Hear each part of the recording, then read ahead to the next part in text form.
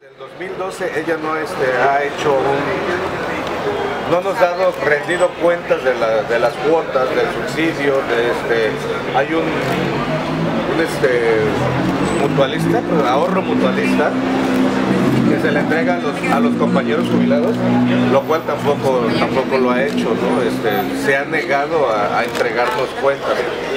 Estamos haciendo cuentas que ella anualmente tiene un presupuesto de un millón trescientos mil pesos, algo así. ¿Ese Porque somos de qué es? ¿De las cuotas? de las cuotas. de las ¿Cuántos son cuotas. los agremiados? Estamos hablando como de 1500, 1000, 1400. Fundamentalmente estamos este, pidiéndole tres cosas.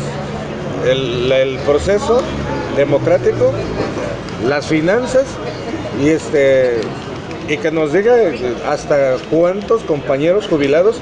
Tenemos un problema que hay muchos compañeros jubilados de la universidad.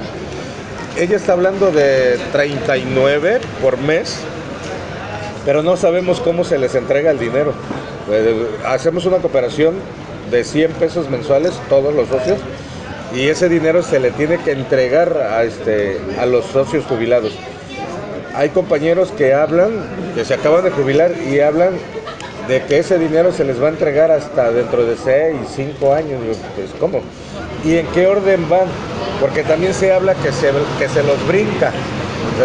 Tú te jubilas y hay una lista de 20, 30 esperando. eh, si tú le das, no, no te- eso no tenemos pruebas, pero se habla que si le das 20, 30 mil pesos, te pasa adelante.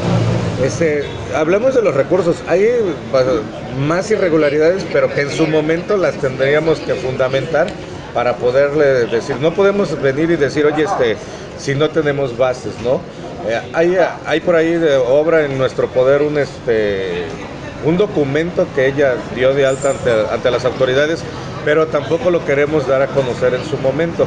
Como habla que nos va a llevar ante la Comisión de Honor y Justicia, nosotros estamos este, esperando que lo haga, o abre el proceso o nos lleva ante la comisión, que es lo más, lo más factible que va a ser. Entonces estos documentos los vamos a guardar hasta que lo haga para poderla este, hacer una demanda legal y fundamentada.